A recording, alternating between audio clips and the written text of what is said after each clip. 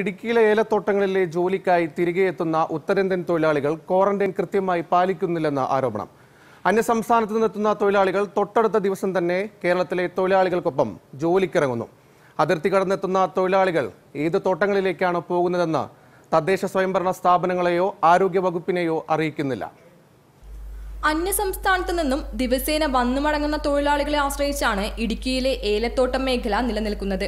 Covid വ്യാപനത്തെ തുടർന്ന് തൊഴിലാളികളുടെ വരവ് നിലച്ചതോടെ വിളവെടുപ്പ് പോലും പൂർത്തിയാവാതെ പ്രതിസന്ധിയിലായിരിക്കുകയാണ് പല തോട്ടങ്ങളും. നിലവിൽ ബംഗാൾ ഒറീസ ജാർഖണ്ഡ് തുടങ്ങിയ സംസ്ഥാനങ്ങളിൽ നിന്നാണ് തൊഴിലാളികൾ തിരികെ എത്തിത്തുടങ്ങിയത്. എന്നാൽ ഇവരെ ക്വാറന്റൈനിൽ പ്രവേശിപ്പിക്കാനോ കോവിഡ് ബാധ ഇല്ലെന്ന് ഉറപ്പുവരുത്താനോ തോട്ടം ഉടമകൾ തയ്യാറാവുന്നില്ലെന്നാണ് നാട്ടുകാരുടെ ആരോപണം. കുമളി ചെക്ക് പോസ്റ്റിൽ നിന്ന് കടത്തിവിട്ട ആളുകളാണെന്നാണ് അറിയാൻ സാധിച്ചേക്കുന്നത്. ഇവർ കുമളിയിൽ നിന്നും പല സ്ഥലങ്ങളിൽ കുറേശ്ശെ കുറേശ്ശെ ആളുകളെ ഇറക്കി ഇനിയിപ്പോൾ നെടുങ്കടത്ത് എത്തിയേക്കുന്നത് ഇരുപതോളം ആളുകളാണ്.